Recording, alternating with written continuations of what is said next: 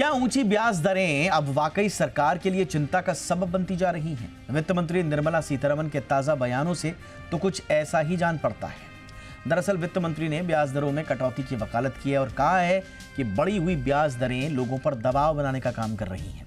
ऐसे में वित्त मंत्री के इस बयान के क्या और मायने हैं? और क्या वाकई आने वाले दिनों में आरबीआई वित्त मंत्री की बढ़ी हुई ब्याज दरों संबंधी चिंताओं पर विचार कर सकता है? देखिए इस रिपोर्ट के ज़रिए और मैं लौटूँगा खास मेहमानों के साथ और समझेंगे कि क्या वाकई में सरकार की जो चिंता है, उस चिंता से आरबीआई भी खुद को संबद्ध कर ब्याज दरों में कटौती का आने वाले समय में ऐलान कर सकता है क्या? चर्चा करेंगे पहले रिपोर्ट।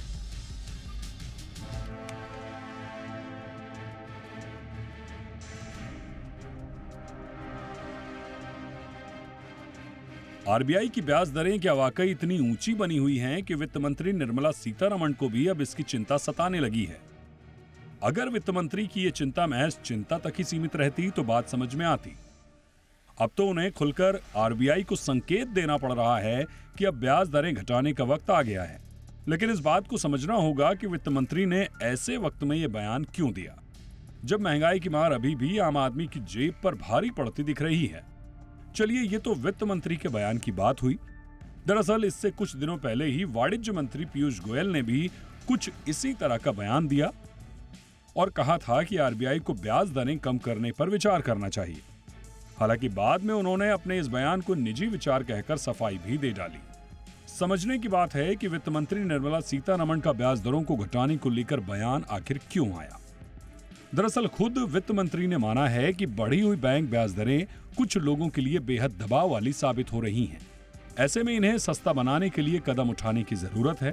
साथ ही वित्त मंत्री ने आर्थिक वृद्धि में सुस्ती की आशंका के बारे में व्यापक चिंताओं के बीच भरोसा दिलाया कि सरकार घरेलू और वैश्विक चुनौतियों को भली भांति समझती है। The cost of borrowing is really very stressful.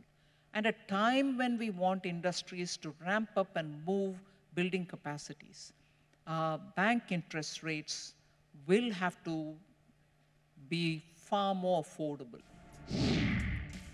अब बात करें रेपो रेट में बदलाव की तो मई 2020 से लेकर पिछले साल 8 फरवरी तक रेपो रेट में ढाई परसेंट की बढ़ोतरी देखने को मिली है जहाँ 22 मई 2020 में रेपो रेट 4 परसेंट के लेवल पर थी तो वहीं 8 फरवरी 2023 में ये बढ़कर साढ़े छह परसेंट के लेवल पर आ गई, जिसके बाद से अभी तक आरबीआई ने रेपो रेट में कोई बदलाव नहीं किया है और ये साढ़े छह परसेंट पर स्थिर बना हुआ है। तो क्या यही वजह है कि आरबीआई के रेपो रेट के कम नहीं करने पर वित्त मंत्री का यह ताज़ा बयान सामने आया है? सच्चाई तो यह है कि महँगाई की दर आरबीआई के टॉलरेंस लेवल से ऊपर यानी छह परसेंट से ज़्यादा हो गई है। ऐसे में दिसंबर के महीने में क्या आरबीआई एमपीसी की बैठक में रेपो रेट में कटौती पर विचार करेगा? क्या वित्त मंत्री की चिंताओं को लेकर आरबीआई की एमपीसी की बैठक में बातचीत हो सकती है? क्या आने वाले दिनों में रेपो रेट में कटौती की उम्मीदें की जा सकती हैं? ये कुछ ऐसे सवाल हैं जिसे लेकर फैसला आरबीआई को ही करना है। Bureau report, Zee media.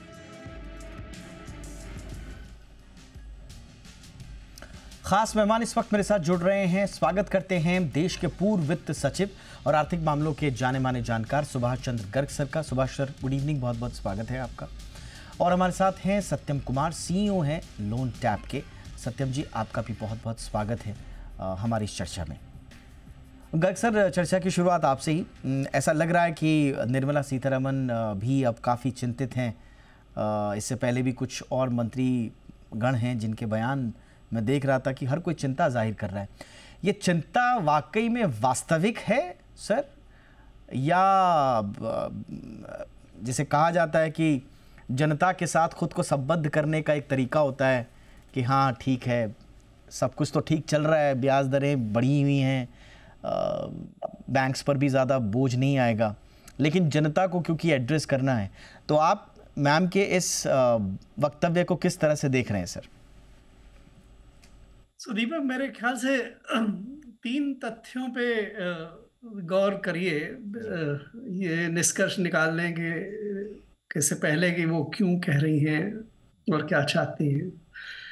Number one जैसे आपके रिपोर्ट में भी कहा कि फरवरी 2023 लगभग पौने दो साल से ब्याज दरें यही हैं इनमें कोई परिवर्तन नहीं हुआ है। ऐसा नहीं है कि पिछले दो चार महीने में या छः महीने में ब्याज दरों में परिवर्तन हो गया एक तो ये तथ्य तथ्य ध्यान रखें। दूसरा क्रेडिट ग्रोथ को अगर देखें तो पिछले छः आठ महीने तक देश में क्रेडिट ग्रोथ बहुत ज़्यादा थी। पंद्रह, सोलह, सत्रह परसेंट। में की दर से क्रेडिट बढ़ रही थी लोन्स बढ़ रहे थे और ब्याज दरें बढ़ी हुई थी, उसके बावजूद भी लोन बहुत क्रेडिट जो है वो बहुत बढ़ रही थी। अभी एक्चुअली पिछले चार छः महीने से क्रेडिट ग्रोथ में कुछ गिरावट आई है, और इस समय ग्यारह, साढ़े ग्यारह परसेंट की क्रेडिट ग्रोथ है। तीसरा इन्फ्लेशन इन्फ्लेशन अगर ये ओवरऑल सीपीआई का आंकड़ा देखें जिसमें फ़ूड इन्फ्लेशन शामिल है तो वो छः परसेंट क्रॉस किया अभी एक दो महीने से आ, लेकिन जो सो कॉल्ड कोर इन्फ्लेशन होता है जिसमें फ़ूड और फ्यूल शामिल नहीं करते हैं वो अभी भी चार परसेंट से ज़्यादा ज़्यादा नहीं है चार परसेंट से कम ही है। तो बहुत ज़्यादा इन्फ्लेशन बढ़ा हो या उसमें परिवर्तन आया हो ऐसा भी नहीं है। अब इन तीनों चीज़ों को ध्यान में रखते हुए और एक और तथ्य आप ध्यान में रखें कि इंडस्ट्री जो है, उसकी क्रेडिट ग्रोथ तो एक्चुअली पिछले तीन चार साल से घटी जा रही इंडस्ट्री इसी समय तीन चार साल, पाँच साल पहले लगभग 45 परसेंट क्रेडिट बैंकों की इंडस्ट्री को जाती थी। आज 25 परसेंट से कम हो गई है। आज ज़्यादा क्रेडिट जा रही है पर्सनल लोन्स में और रिटेल लोन्स में जिसमें तकरीबन 40 परसेंट क्रेडिट जा रही है। और ये क्रेडिट बढ़ रही थी काफ़ी दर तेज़ी दर से। अब इन सब स्थितियों को देखते हुए अब अगर आप अंदाज़ा लगाएँ कि ये सडनली अचानक पिछले एक डेढ़ महीने से दो केंद्रीय मंत्रियों ने इसके बारे में क्यों कहा होगा? हम्म, हम्म। इसके लिए एक चीज़ तो ये सामने आती है कि अगर आप इन्फ्लेशन को देखें या क्रेडिट को देखें, इन सब चीज़ों को देखने के बावजूद के हिसाब से जो रेपो रेट है उस साढ़े छः परसेंट को रहने का औचित्य छः महीने पहले भी नहीं था, साल भर पहले भी नहीं था और अभी भी नहीं है। तो शायद ये एहसास हो कि ये बढ़ी रेट रेट्स जो हैं उनको बढ़ बढ़ बढ़ बढ़ बढ़ी रह, रहने देना उचित नहीं होगा इसलिए शायद बोलना शुरू किया हो। और दूसरा जो मुझे लगता है कारण कि चूँकि सबसे ज़्यादा भार इंटरेस्ट रेट जो बढ़ी हुई हैं और हमारी सारी की सारी हाउसिंग और कंज्यूमर लोन्स आजकल लगभग इसी रेपो रेट से जुड़ी हुई हैं। तो जो कंज्यूमर्स हैं और हाउस लोनी हैं उनको सबसे ज़्यादा भार सहन करना पड़ रहा है और उनकी शायद स्थिति इस समय तक काफ़ी ख़राब हो चुकी है। इसलिए उनको कुछ रिलीफ देने। और लास्ट मुझे लगता है कि बिकॉज़ ये मुझे समझ नहीं आ रहा कि पब्लिकली क्यों कह रहे हैं दोनों मंत्री आरबीआई हम्म। और गवर्नमेंट के बीच पिछले चार पाँच साल से बहुत अच्छा सामंजस्य है।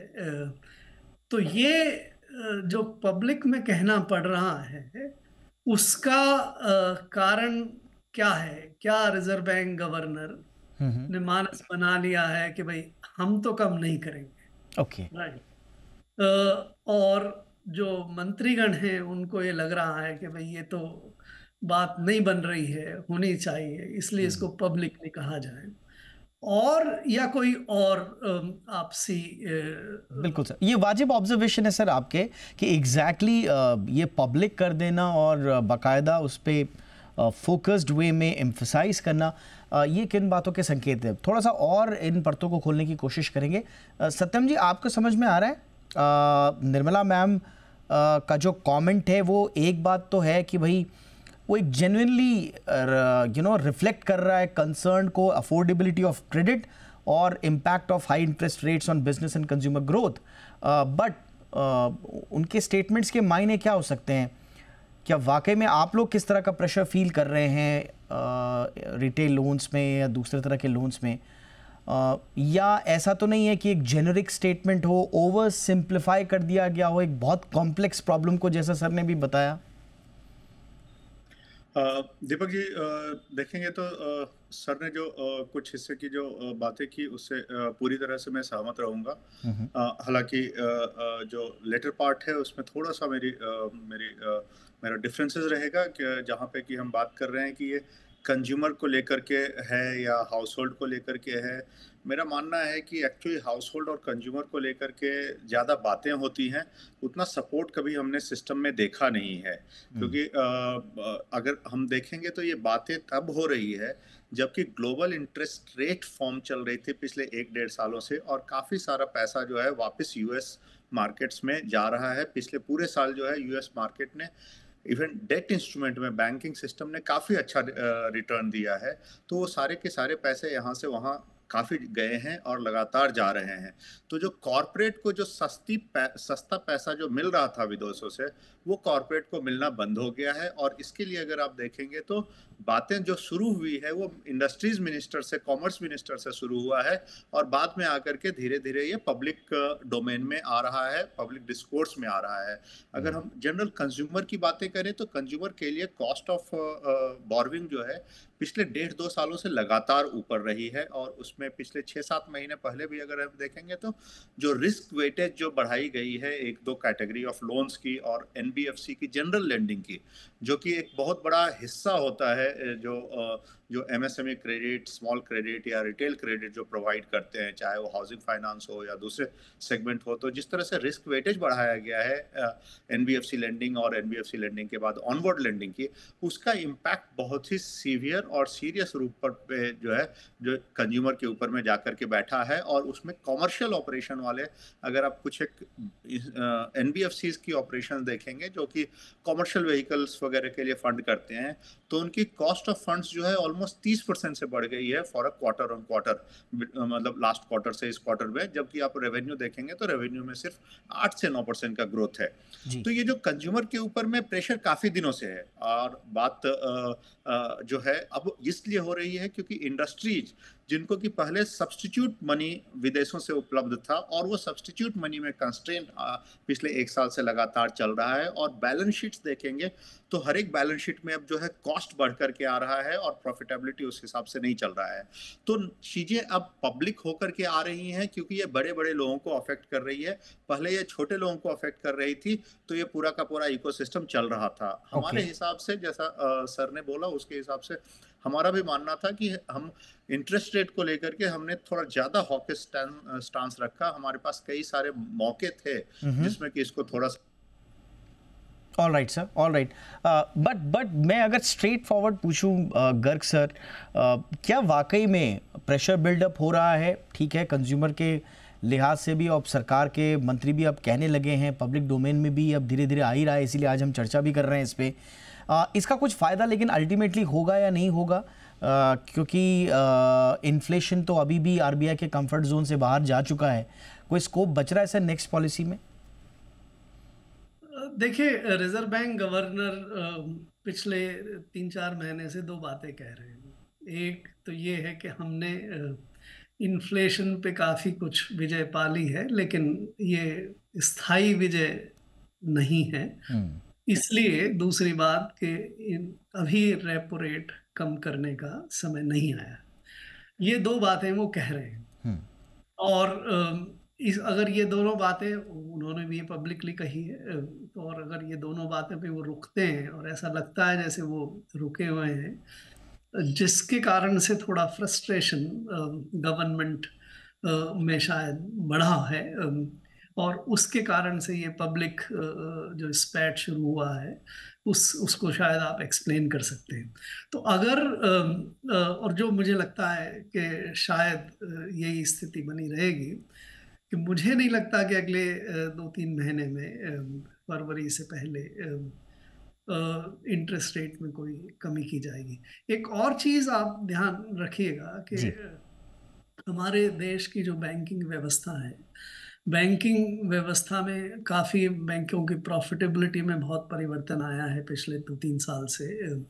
इस समय तो अगर आपने भी इस क्वार्टर के रिजल्ट्स को देखा हो तो लगभग 40 परसेंट प्रॉफिट पूरे सिस्टम में बैंकों से और फाइनेंशियल सेक्टर की कंपनियों से आ रहे हैं।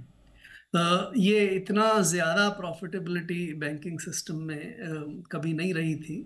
और न रहने की ज़रूरत है। इसका मायना ये है कि रियल सेक्टर में जो और कंपनी है जो वास्तव में गुड्स एंड सर्विसेज़ प्रोड्यूस करती हैं वो प्रॉफिट नहीं ले पा रही हैं और बैंक्स काफ़ी पैसे कमा रहे हैं। बैंक्स कैसे पैसे कमा रहे हैं? उसका एक बड़ा कारण ये जो हाई इंटरेस्ट रेट और उससे लिंक्ड आपके बैंक के लोन्स हैं हम्म।